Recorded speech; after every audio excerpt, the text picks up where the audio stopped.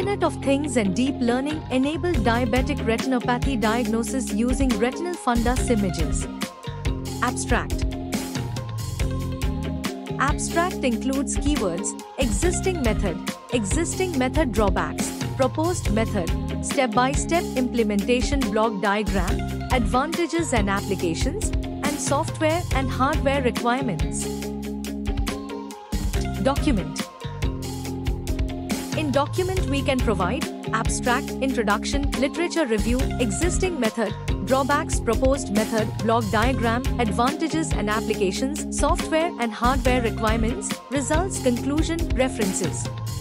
Additionally, provide detailed information on MATLAB software, covering its history, capabilities in image processing, and specific steps involved in digital image processing relevant to your project.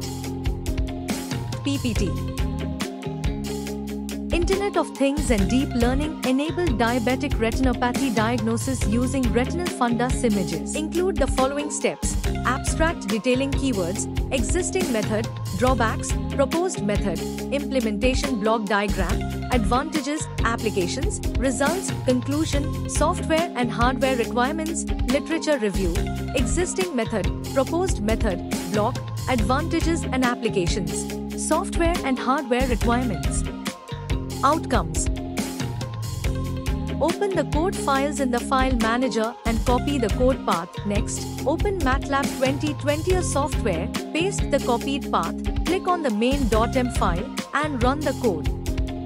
Select an image to process. The first figure represents the input image, the second figure represents noise removed image, the third figure indicates restored image, the fourth figure indicates overlay of segmented image on original image, the fifth figure indicates DR classification image, the sixth figure indicates DR disease classification image, the seventh figure is morphologically closed image, the eighth figure indicates contrast enhanced image, the ninth figure indicates Gabor features image.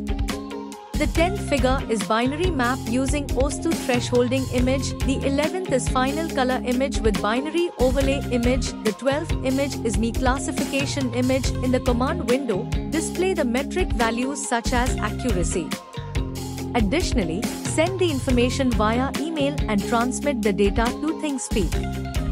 The data should include lifestyle recommendation and treatment options.